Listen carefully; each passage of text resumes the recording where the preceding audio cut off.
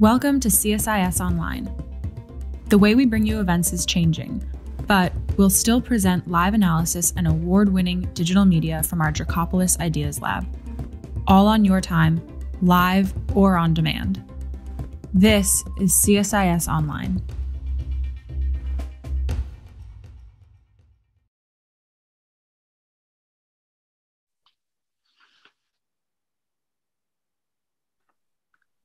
Good morning. I'm Anthony Cordesman, and I hold the Burke Chair in Strategy at the Center for Strategic and International Studies.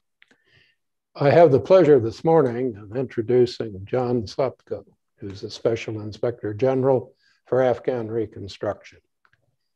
And he is talking about some of the critical risks that affect not only our current posture in Afghanistan, but which will be equally critical in shaping the prospects for either any kind of peace settlement or the decisions we might have to make if that peace doesn't prove to be possible.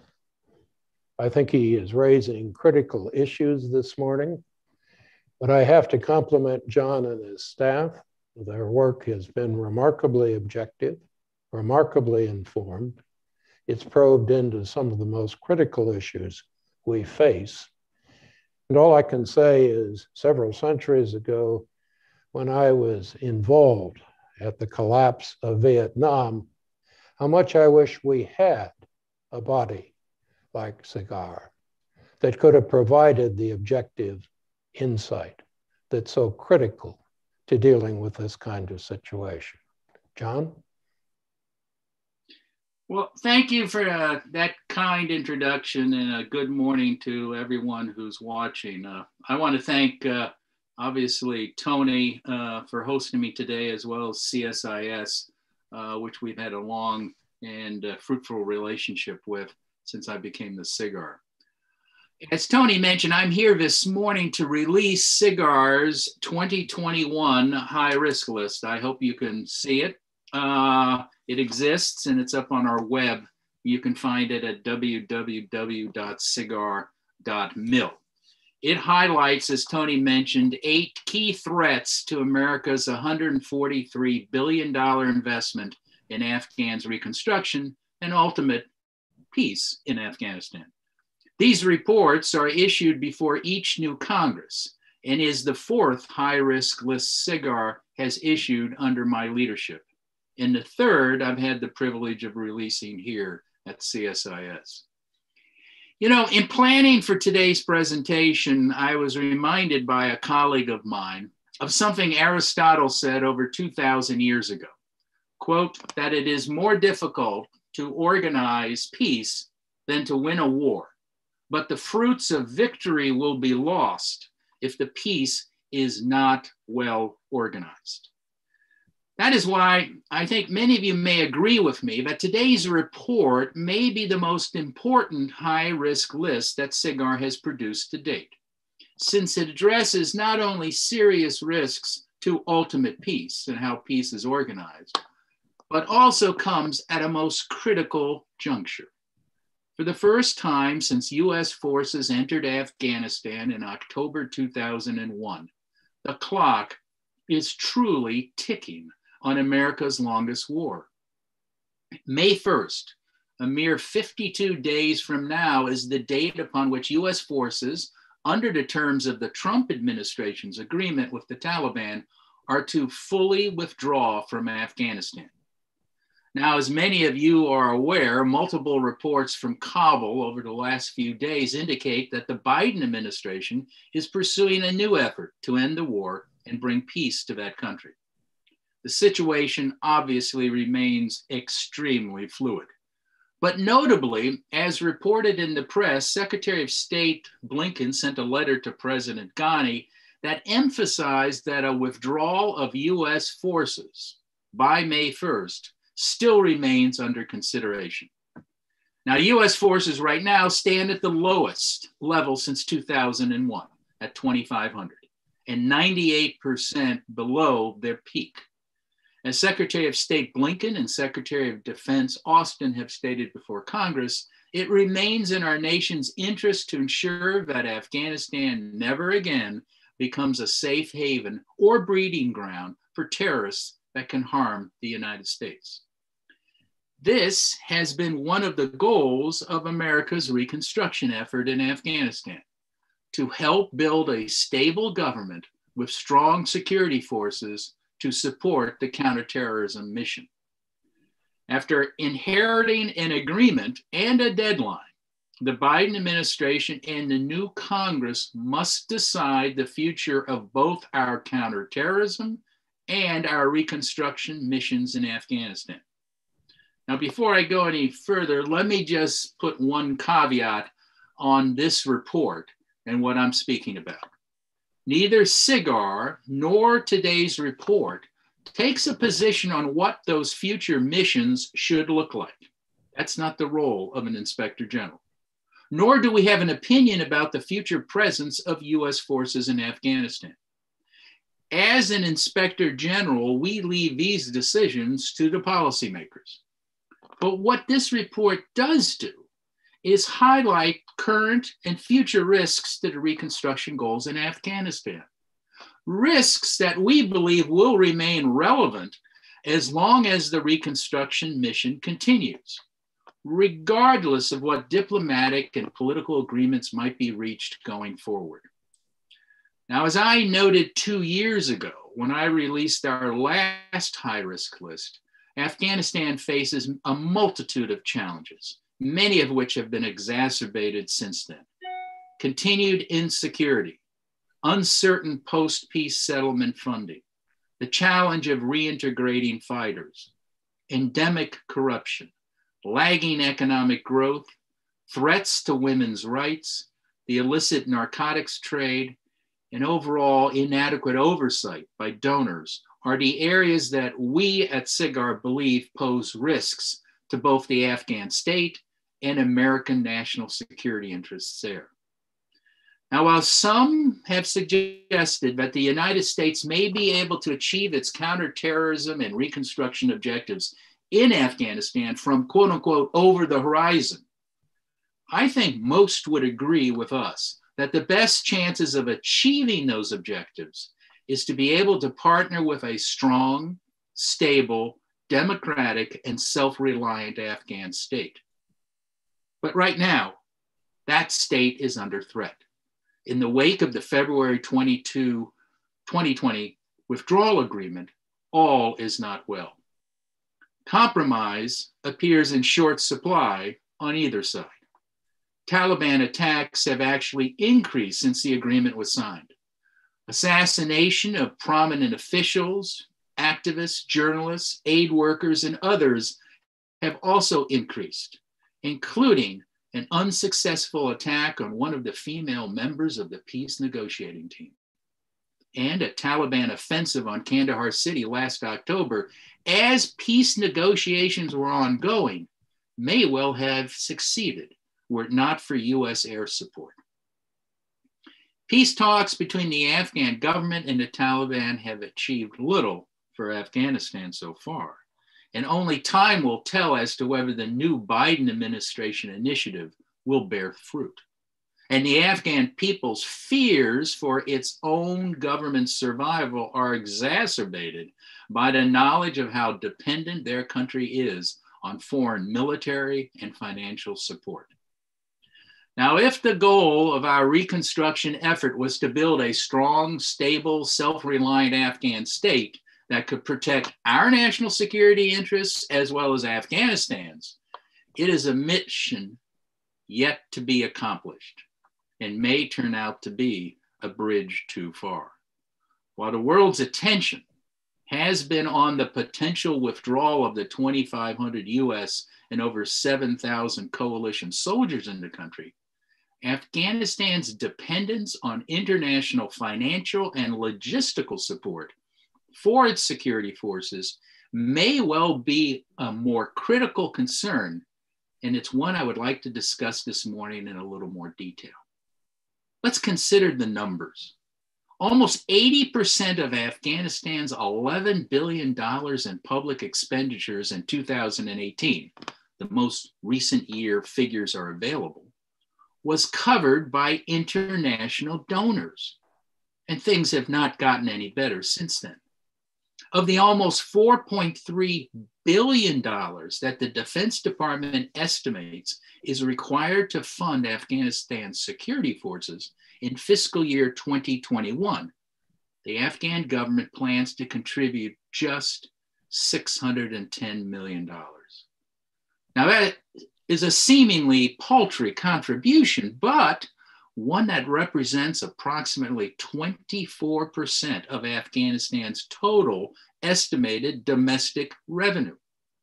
Further, the Defense Department has reported to us that it no longer considers the long held goal of a financially self sustaining Afghan security force by 2024 to be realistic. All the while, the Afghan government may be learning that after nearly two decades of financial support, the patience and interest of international donor, donors may not be infinite after all. Take, for example, the most recent Afghanistan Donor Conference, held virtually in Geneva this past November. Participants from 66 countries and 32 international organizations pledged approximately $3.3 billion in development aid for 2021, with annual commitments expected to stay at the same level through 2024. Now, this was a significant reduction from the amounts pledged in 2016. And when combined with another 3.6 billion in security assistance, is close to the bare minimum experts believe is necessary to preserve Afghanistan as a viable state. Further cuts in funding, in their opinion, could be highly destabilizing to Afghanistan. Compounding matters, as today's report indicates, the Afghan government still cannot manage the money it currently receives from international donors, particularly when it comes to the finances of its security forces. For example, the US believes the Afghan government may be several more years away from their promise to take over ownership, management, and sustainment of a payroll system, which the United States gave and cost us $50 million, which is used to ensure that US taxpayers are not paying for Afghan ghost soldiers who exist only on paper and that military poli- and police salaries do not end up in the pockets of corrupt officials rather than the policeman and the soldier. Another equally serious threat to Afghanistan's stability has also largely been ignored as we focus on the, the boots on the ground in Afghanistan. And that is the provision of last year's US Taliban agreement that stipulates that in addition to the departure of US and coalition troops, all non diplomatic civilian personnel, private security contractors, trainers, advisors, and supporting service personnel also must leave the country by May 1st. Should this come to pass, SIGAR and many others believe this may be more devastating to the effectiveness of the Afghan security forces than the withdrawal of our remaining troops. Why is that? Because the Afghan government relies heavily on these foreign contractors and trainers to function. In the first quarter of fiscal year 2021, there were over 18,000 Defense Department contractors in Afghanistan, including 6,000 Americans and 7,000 third country nationals, 40% of whom are responsible for logistics, maintenance, or training tasks. Now, it is well known that the Afghan security forces need these contractors to maintain their equipment, manage supply chains, and train their military and police to operate the advanced equipment that we have purchased for them. For example, as of December, the Afghan National Army was completing just under 20% of its own maintenance work orders, well below the goal of 80% that was set and the 51% that they did in 2018. So that's actually going down. the Afghan National Police were just as bad, if not worse, undertaking only 12% of their own maintenance work against a target of 35% and less than the 16% that we reported in our 2019 high risk list. Additionally, and more troubling, the Department of Defense's Train, Advise, and Assist Command Air, or commonly called TAC Air, recently reported that since late 2019, they have reduced their personnel in Afghanistan by 94%, and that the military drawdown now requires near total use of contract support to maintain the Afghan air fleet. They assess that, quote, further drawdown in the associated closure of bases will effectively end all in country aviation training contracts in Afghanistan. Again, why is this significant? Why do we view this as a high risk? Namely, because contractors currently provide 100% of the maintenance for the Afghan Air Force UH 60 helicopters and C 130 cargo aircraft, and a significant portion of Afghan's light combat support aircraft. TAC Air this January gave a bleak assessment, namely that no Afghan airframe can be sustained as combat effective for more than a few months in the absence of contractor support. Now, building Afghanistan's security forces, including its Air Force, has been by far the most expensive portion of US recon reconstruction efforts there. But even if US financial assistance continues, the lack of enough experienced and trained Afghan personnel, combined with the absence of US military and contract support in Afghanistan, will negatively impact the Afghan security forces threaten the Afghan state, and imperil our own national security interests should Afghanistan further destabilize.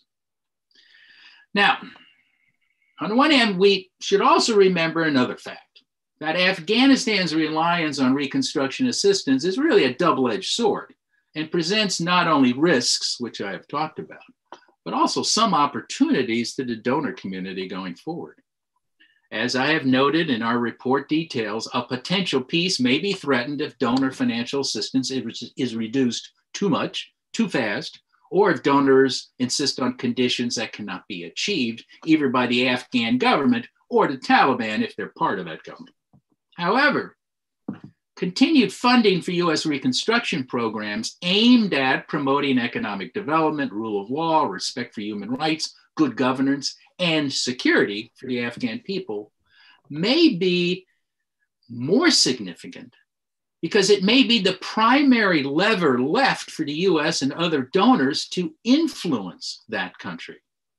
It appears that even the Taliban understand Afghanistan's dire need for foreign assistance because as one of the few commitments that the US had to make last year was quote to seek economic cooperation for reconstruction with the new post-settlement Afghan Islamic government unquote. Now, how much the donor community wishes to stay involved will, of course, depend on what that government looks like and how it behaves. Numerous officials, including then Secretary of State Pompeo and Ambassador Khalilzad, have stated that the US will be able to advance its human rights goals, including the rights of women and girls with the Taliban, by leveraging or conditioning this much needed financial assistance. But unfortunately, as SIGAR has long reported, even when conditionality involved only dealing with the Afghan government, donors do not have a stellar record of successfully utilizing that conditionality to influence Afghan behavior. That said, the basic risk facing the current and any potential post peace Afghan government is whether future foreign assistance levels during this uncertain, uncertain period will be sufficient to prevent its collapse. Now, the recent donor conference I alluded to before provided some assurance, but also some concerns. On the one hand, the amounts pledged at the November donor conference for civilian non security assistance to the Afghan government represents a 15% decrease compared to the amount pledged four years earlier. The amount pledged, if fulfilled, as I noted, comes close to the $3 billion in donor assistance for civilian expenditures that Overseas Development Institute researchers determined was the minimum yearly amount necessary to preserve the Afghan state's functionality. They found that an additional 3.6 billion would be required for security, for which they noted the US is presently the only major donor. On the other hand, the World Bank has estimated that the costs of implementing a peace agreement would require an additional $5.2 billion in additional civilian assistance through 2024. This is above and beyond the 6.6 billion, which is the bare minimum to keep the Afghan government afloat.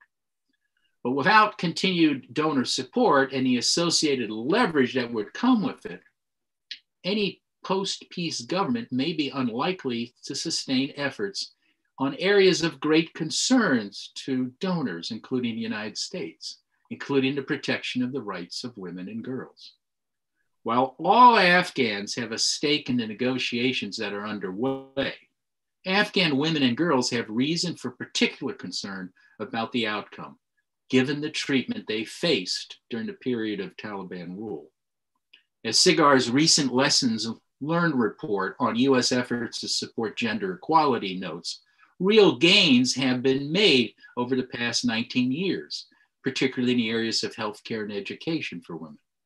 But while challenges persist, there are significant fears that should the Taliban enter a government, what fragile progress that has been made will be rolled back. And I should note, recent actions by the Taliban have not been reassuring. And while US officials involved in negotiating the US Taliban agreement have said the leverage of US financial assistance will provide the carrot and stick to, to induce any post peace Afghan government to respect the rights of women and girls, the withholding of the assistance may actually lead to greater insecurity, and women and girls could suffer as a result. As ever, in Afghanistan, one must always be wary of the law of unintended consequences. And as we highlight in today's report, one of those unintended consequences of our reconstruction effort over the last 20 years, namely corruption, continues to fester as international donors have, in their own self interest, entered into, into a devil's bargain with successive Afghan governments to provide enormous amounts of financial assistance that paradoxically may have ended up undermining the entire military and reconstruction effort. Now, since I became the SIGAR nearly a decade ago, we have reported that foreign assistance distorted the Afghan economy and exacerbated the corruption problem. Moreover, international donors, including the US, have largely failed to use their leverage to insist on more robust anti corruption efforts by the Afghan government. As an inspector general, my primary concern about corruption in Afghanistan is that US taxpayer dollars are not wasted or misused. But beyond that, Afghanistan's endemic corruption provides the oxygen to the insurgency and undermines the actual Afghan government we're trying to help. Back in 2014, former ISAF commanding general John Allen was not hyperbolic when he told Congress that corruption, not the Taliban, was the existential threat to the Afghan government and our mission there. Yet, for all the anti corruption benchmarks and spreadsheets that we've seen being between foreign embassies in Kabul and the presidential palace, the Afghan government's anti corruption efforts remain largely ineffectual. We at SIGAR have repeatedly noted that the Afghan government too often makes paper reforms, drafting regulations, holding meetings, attending international conferences, rather than taking concrete actions like arresting powerful Afghans on corruption charges. Now, I don't want to be all pessimistic. This doesn't mean that positive change cannot happen. Our work has found that the Afghan government can improve and tends to make, take some meaningful action when donors are engaged, speak with one voice, and call for specific reforms to curb systemic corruption. Unfortunately, I believe that the donors missed a key opportunity at the no November donor conference to do that and make some real improvements. The anti corruption framework agreed to at the conference falls short because it fails to outline specific financial consequences for the Afghan government if it fails to meet its anti corruption obligations. It is troubling when you think of it that even at this pivotal time, the donors did not have either the political or bureaucratic will to place hard, concrete anti corruption conditions on our foreign assistance. It makes one wonder if not now, when will we be able to? The Afghan government is severely dependent on international assistance. Its grip on power may be slipping away, and still it appears international donors were not able to condition further assistance to the Afghan government with specific penalties if their anti corruption efforts fail to improve. Just as troubling, the international donors at the same conference also did not include counter narcotics efforts among the conditions for further assistance. This, too, we believe, was another missed opportunity for donors to de- demand measurable improvements to address one of the major sources of corruption, as well as financial support for the insurgency. A key lesson we at SIGAR have espoused is that donor governments have to be willing to say no and pull money back, not only to protect their taxpayers, but because a corrupt narcotic fueled Afghan state will never be a reliable partner able to protect itself or the interests of the United States or its donors. Now, while the Afghan government has been able to escape such conditions into, in the past, today our report suggests the donor community should realize the Afghan government is focused on a single goal its survival. Afghanistan is more dependent on international support than ever before. It may not be an overstatement that if foreign assistance is withdrawn and peace negotiations fail, Taliban forces could be at the gates of Kabul in short order. After all, we must remember it was when the rubles from Moscow stopped coming, not when the Soviet troops withdrew, that Afghanistan last descended into the chaos of civil war. Even if the Taliban doesn't threaten the stability of the Afghan government, the Afghan people, 85% of whom state that corruption is a problem in their daily lives, may do the job for them. As Samantha Power, President Biden's nominee for US aid administrator recently wrote in Foreign Policy, quote, anger over corruption and misconduct has been a driving force behind a surge in mass mobilizations around the world. And apropos of today's event, Tony, I should note that in her article, which is a very good article, I recommend everybody read it, she cites CSIS data that of the 37 major protest movements that occurred in 2019, opposition to corruption played a role in roughly half, leading in many cases to leaders' resignations and changes of government. So let me conclude.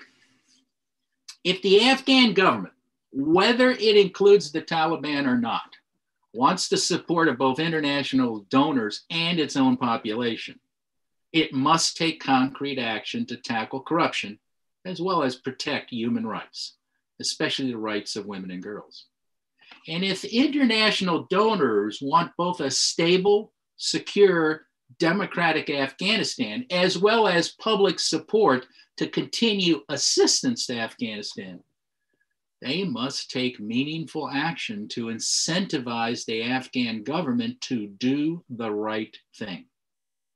Make no mistake, Afghanistan is at an inflection point.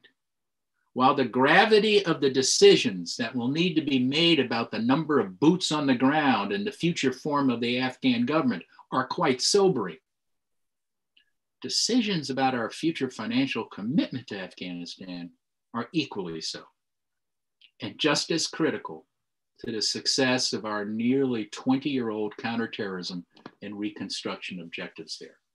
Thank you very much, and I look forward to questions. John, thank you very much. And I think you have raised a number of critical issues. I'm going to take just a few minutes to go beyond what you could deal with, because we do now have a deadline. And as you pointed out in your remarks, it's critical. May 30th is fine, but you don't have till May 30th that's the deadline for removing US and contractor forces, and presumably, although it's unclear, most of the NATO forces as well. The problem is if you are going to move those forces out, you have to have some kind of interim government or peace process in place well before that deadline. And as yet, we don't have substantive negotiations between the Afghan government and the Taliban that get into the specifics. Now, we do have a letter from Secretary Blinken and some detailed peace proposals. These aren't public yet, but they have been reported in Tolo News in Afghanistan, along with the full peace proposal. And it raises another critical issue. That is, if you go through the list of those peace proposals, most of them require the Taliban to virtually turn away from its declared ideology and previous statements about the Afghan government. It basically requires a shift now, on the one hand, it also requires the Afghan government, one with all the weaknesses you've cited, to turn over about half of the positions to the Taliban's representatives. But it then assumes that the interim president, who may never effectively take a political role after that position, has the deciding vote. So we are now looking at all of the issues you've raised and a very complex peace proposal, which evidently has provoked already, although we haven't seen it publicly, criticism from President Ghani and no clear reaction from a Taliban, which in many ways would have to give up element after element of its ideology to participate.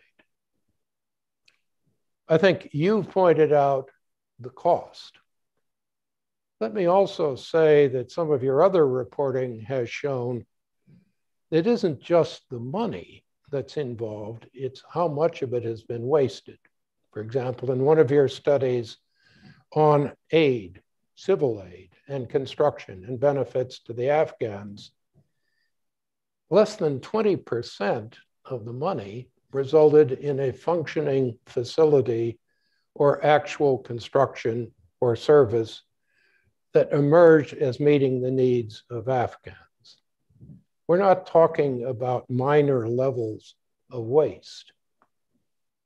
We are talking, as we look at World Bank reporting and other reporting on the Afghan economy, not only about a society where the only major industry earning hard currency in the entire country is narcotics, but a country where at one point we'd reduced poverty rates to about 38% of the population, and they've now risen to 68%.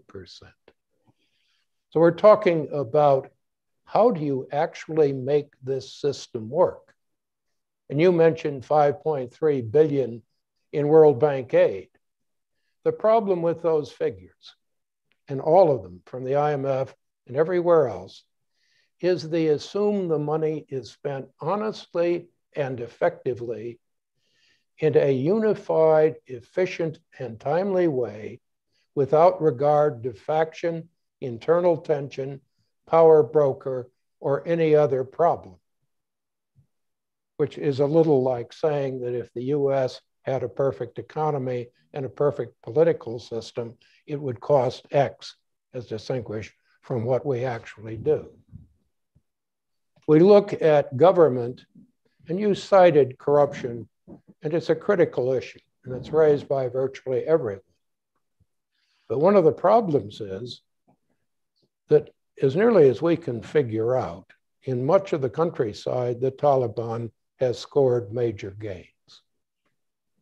And in much of the countryside, the government, that is the supposed central government, has no real presence. For example, in its local district government, one report indicates that less than half of those district governments have a functioning prosecutor. In other words, their legal system is not working in much of the country. A lot of these are rural, the numbers aren't very good, but what we are talking about is an increase in rural areas and particularly outside even the district capital in Taliban interests and gains, or even in the Taliban becoming the real justice system. You mentioned the problems with the Afghan national forces. Reporting I've seen struck me very much as what I saw in the Pentagon as a civilian assistant to the deputy secretary during the collapse in Vietnam.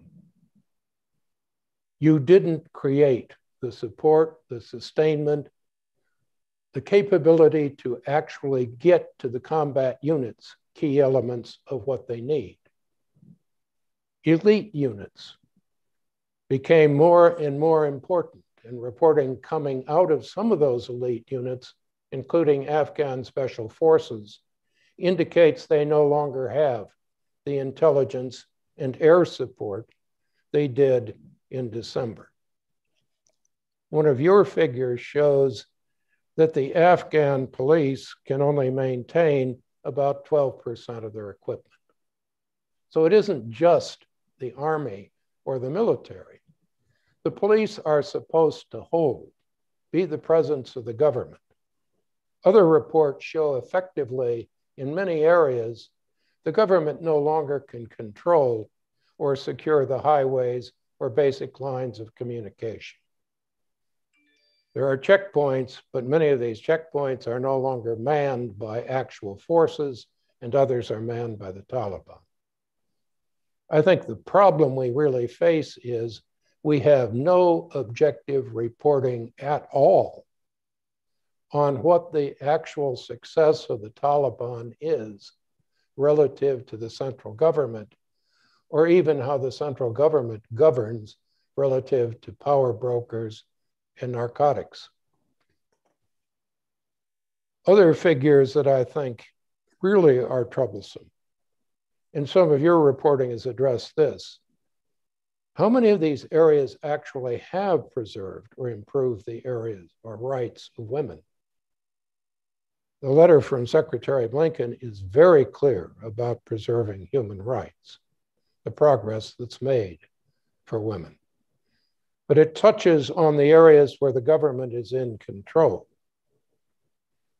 And here, this, I think, raises the question Can we make a peace work? And if we can't make a peace work, and we have very, very little time, given all the challenges you raised, what do we do then? Because it isn't a matter of keeping 2,000 or 4,000 troops. It's a matter of keeping an Afghan government alive at every level police, army, day to day operations. Somehow doing it with the war going on and potentially bringing contractors and Americans back as targets. because the peace process has not succeeded. And this raises a question which I think we really now have to begin to address. You mentioned, and let me just conclude with that, the issue of can you afford to leave a potential area for terrorist action? Well, the problem with that question is relative to what? Because if you look at the map of Africa or Asia or Central Asia, if you look at the Middle East, the number of areas where other terrorist movements now do present a threat, many of them much more direct in terms of threats to Europeans, our strategic partners in Asia, or our strategic partners in the Middle East, where do we concentrate our resources? What kind of gains, if we leave Afghanistan, what is the pressure that puts on China, Pakistan, Iran, and Russia lies? If the Taliban does not choose, I think all of this goes back to the point you raised in opening. These aren't theoretical questions. One way or another, we have to answer all of them by the end of May, or indeed well before. And the other issue is, in many cases, given your numbers, it means bringing many thousands of contractors or military or advisors back into an Afghanistan where we have removed many intelligence assets, air power, and the ability to administer aid in the field. I guess what really scares me are the deadlines. But with that, let's open things up for questions.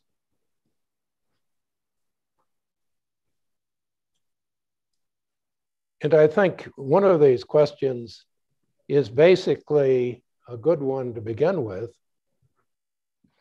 What do you say to the argument that the US has invested too much? Is this a good enough argument? Let me ask. Um, if the question is how, if we put the question, um, tell you how well we're doing, um, uh, emphasized in your presentation was uh, the policy decisions. I, I, don't do policy. I, I don't, and no IGs should do policy. Our job. We look at the process. But what we're saying is these are the risks, and I, I wholly uh, commend you for highlighting. We got a lot of questions we have to answer and decisions to make in, in 52 days, and uh, um, and they involve all of the things we just talked about. And one is throwing good money after bad. Um, now, it all depends on really a policy decision on um, counterterrorism. Do we need to be there, or can we do it over the horizon?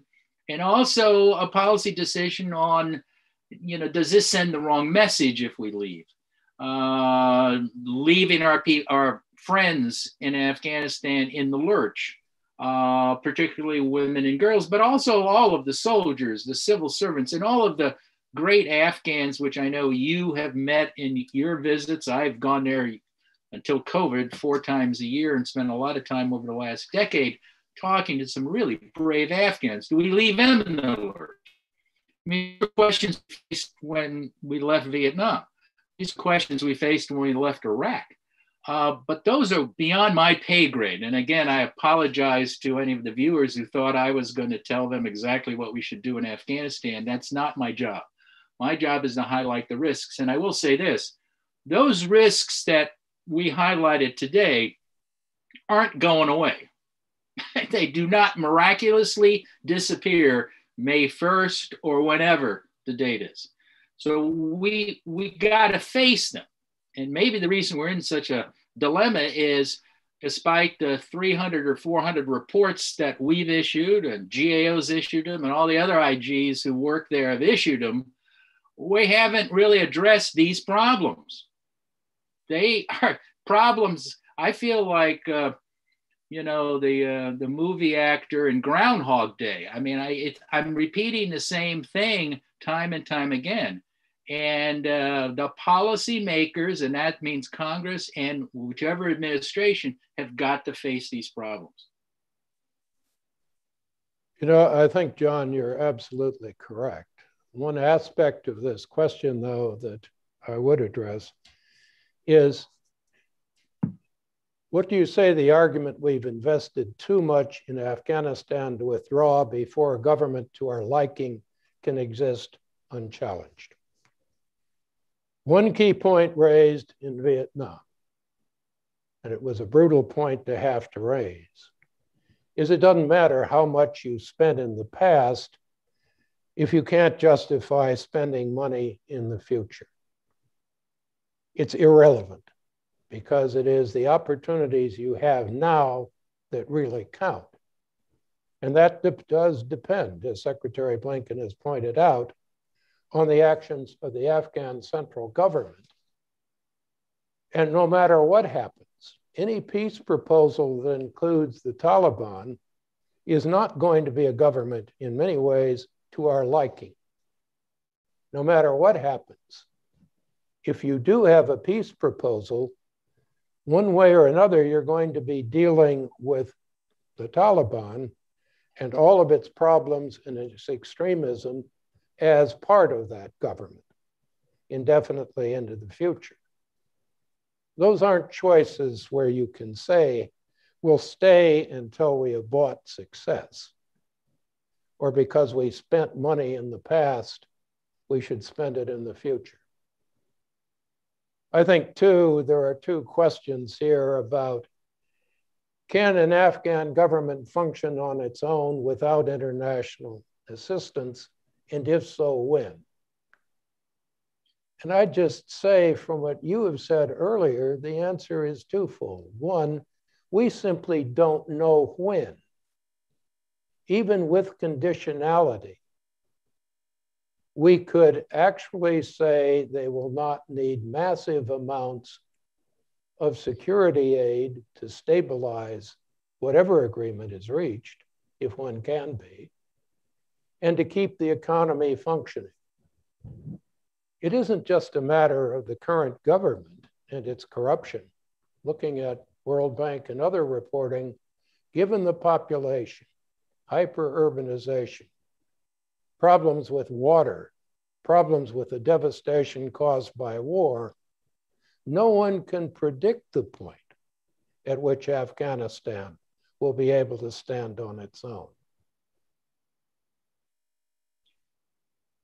Tony, if I, if I can add to that, I, I think we're pretty clear in this report, and I think uh, uh, many of the other donors realize that too, is uh, if uh, if we don't provide financial support at a minimum, but then you also have questions about technical support, uh, but financial support, the Afghan government will collapse.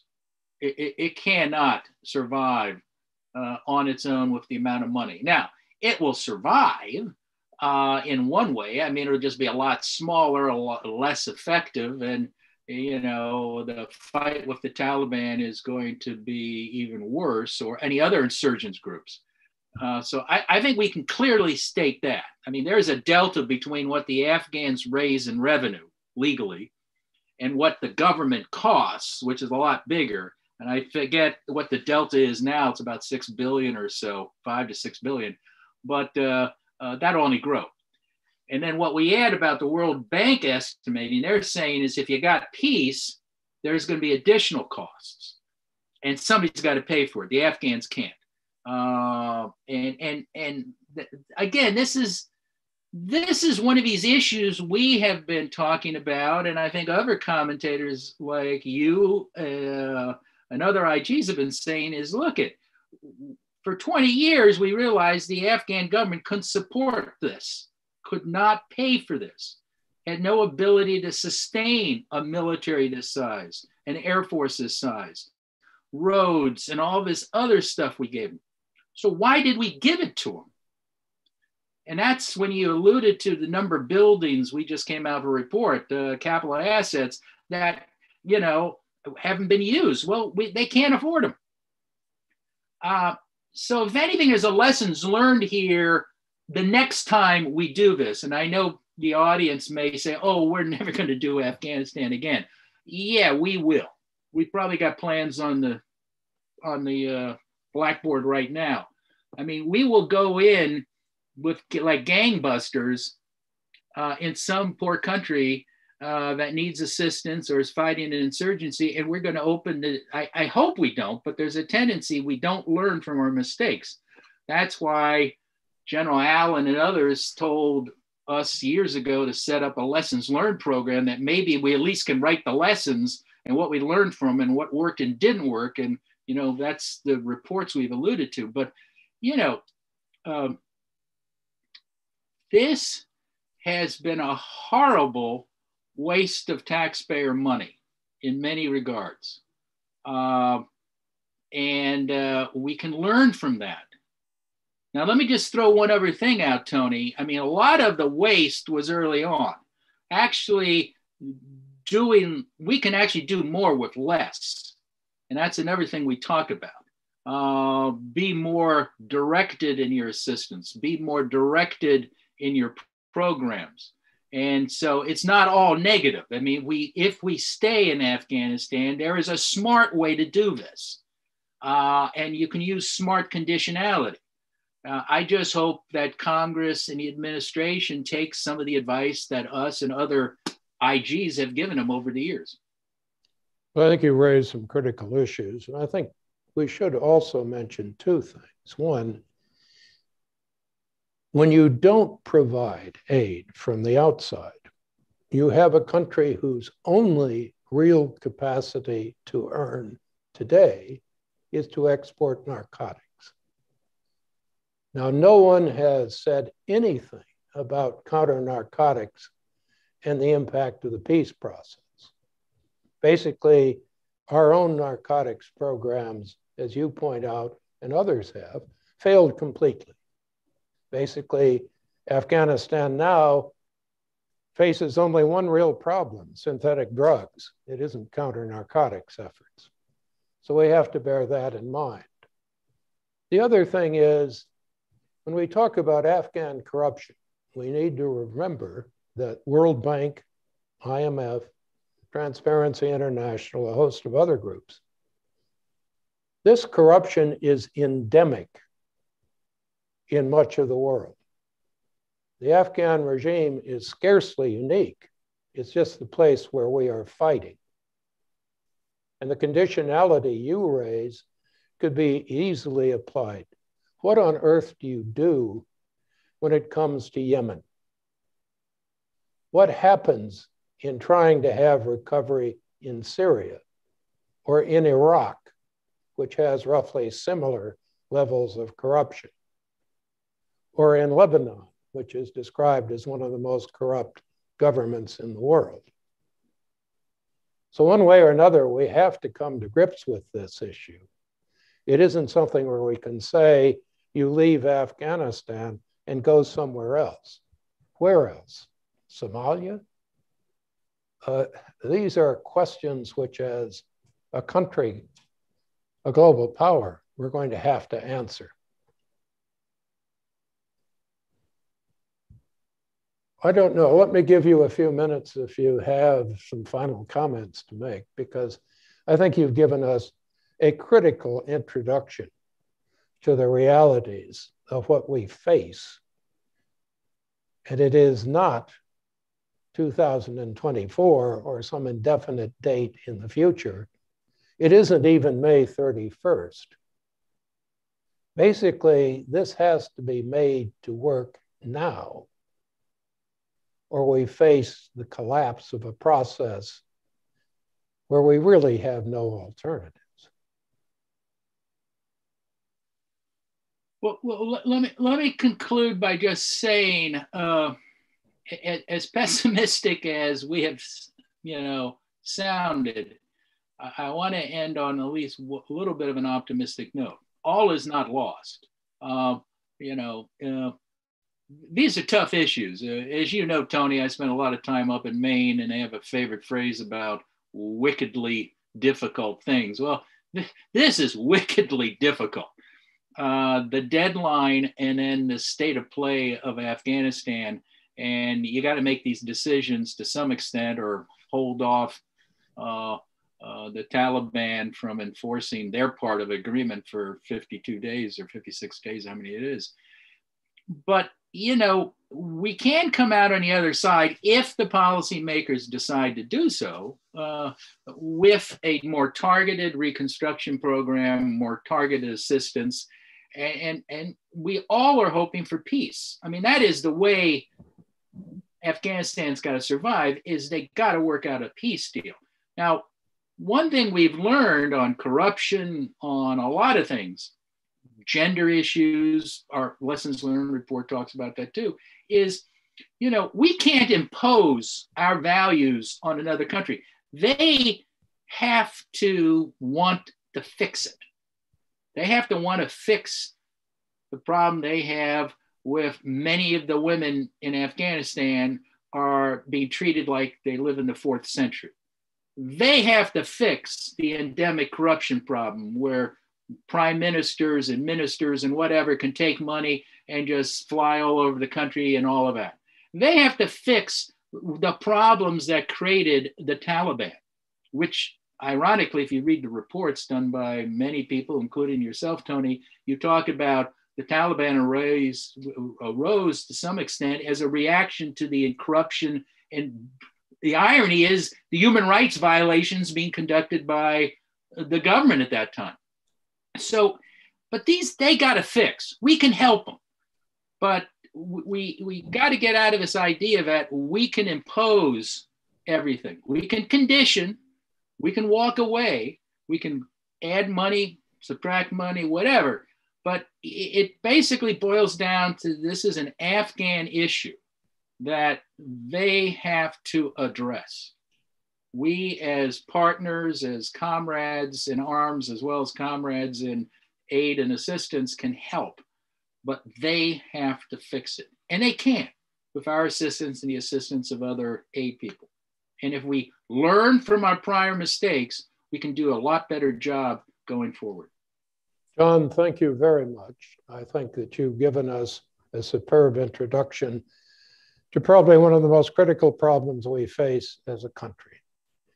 And I think it is wise to end on a positive note. And let me just say, in fairness to the administration, that Secretary Blinken does raise in his peace proposals the possibility of shifting these deadlines and negotiating on a broader level over more time. So there are at least some options, even in the short term, for moving forward. And ladies and gentlemen, thank you very much for watching. Thank you, Tony.